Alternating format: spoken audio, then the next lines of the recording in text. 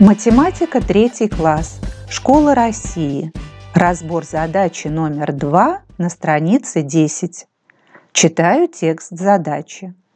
На одной ветке яблони было 12 яблок, а на другой 8 яблок. Когда несколько яблок упало, на этих ветках осталось 16 яблок. Сколько? Авторы учебника просят поставить вопрос и решить задачу. Разбираю задачу, чтобы поставить вопросы. Мне известно, что на одной ветке яблони было 12 яблок, на другой 8 яблок. Когда несколько яблок упало, на этих ветках осталось 16 яблок. Записываю краткое условие с помощью схемы. Было 12 яблок и 8 яблок. Упало неизвестно, Осталось 16 яблок. Из схемы понятен один из вопросов. Сколько яблок упало? Это главный вопрос задачи. Глядя на первую строчку схемы, у меня возникает еще один вопрос. Сколько яблок было на двух ветках? Рассуждаю.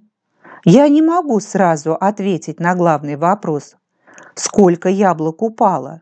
Потому что не знаю, сколько всего яблок было на двух ветках. Сначала я узнаю, сколько всего яблок было на двух ветках, выполню сложение.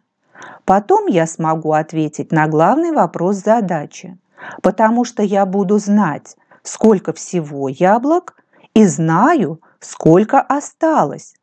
Чтобы узнать, сколько упало, надо выполнить вычитание. Решаю. Первое действие. 12 плюс 8 равно 20. 20 яблок. Второе действие. Из 20 вычитаю 16. Получаю 4. 4 яблока. Отвечаю. 4 яблока упало с яблони. Мы поставили вопрос, сколько яблок упало – и решили задачу по действиям. Решение задачи можно записать и с помощью математического выражения, состоящего из двух действий. Из суммы чисел 12 и 8 вычитаю 16, получаю 4. С вами Ольга Николаевна. До новой встречи, друзья!